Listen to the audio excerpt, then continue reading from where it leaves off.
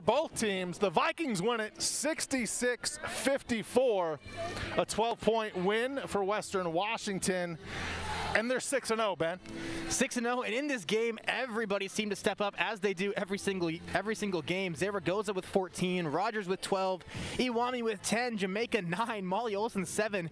You keep on going and you keep on seeing the numbers. What a holistic effort this entire team from the beginning of the season, whether the beginning of the season might have been, you know, last October, beginning of season until now, the goal is to win, and all they did was win. Take a look there at Kelsey Rogers, Emma Duff, giving their hugs, their final time on the court for Kelsey Rogers. You know, but what a tremendous, tremendous, fantastic, awesome, great, wonderful career it has been for Rogers. So much fun to broadcast over these last couple years. And of course, everybody at Western here wishes her and all these seniors the very, very best heading forward. I wouldn't be surprised, Shawn. Kelsey Rogers might be one of those players that returns on the coaching staff. You can see how beloved she is by her teammates, by her coaches. You know, if she can teach the next generation of power forwards for the Vikings, if they can teach her, if she can teach them that move, she's going to be just fine. You know, Ben, you mentioned the hugs and everything, but what I notice from the teammates of Kelsey Rogers are tears tears of joy, tears of sadness that it is the final game for one Kelsey Rogers. Kelsey joining me now here on the post game show on Vikings TV. Kelsey, has it sunk in you have played your final game? Uh, no, definitely not. Just feels like another good win, another good time out here with my teammates. So uh, we'll find out when it does, but right now, it's just a lot of fun. What was your thought process going into this morning when you woke up today knowing that this was it? Just embracing it. I mean, it's obviously different than what other senior nights look like, but I'm not taking anything for granted. I've appreciated my four years here, and uh, yeah, just soaking it all in. Got to put you on the spot. Do you have any one or two top memories of your career here at Western Washington?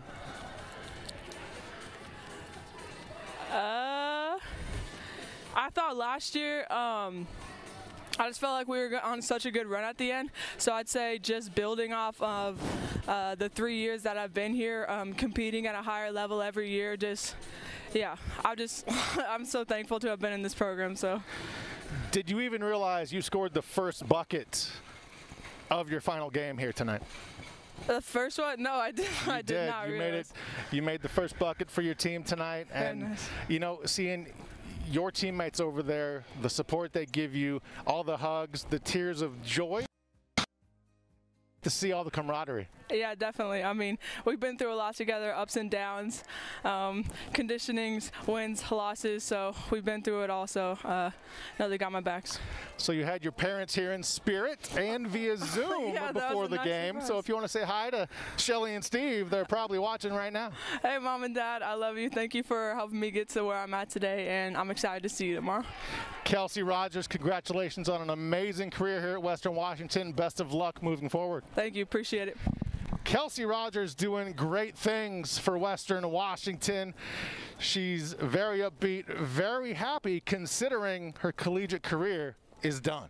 You know, collegiate career, career coming to a close, but you know, you just can't say enough. This seems to be the perfect ending. You know, a shortened season.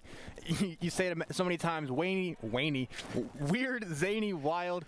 Kelsey Rogers, the, what a class act. You know, these, these girls that come to Western, the one thing you can say about every single player that comes to Western, plays under Coach Dolfo, they are class acts. We got some great just character. They're uh, they're GNAC, all all, all Americans, I should say, and they're just really really great people to be around. So all the credit, all the congratulations in the world to Kelsey.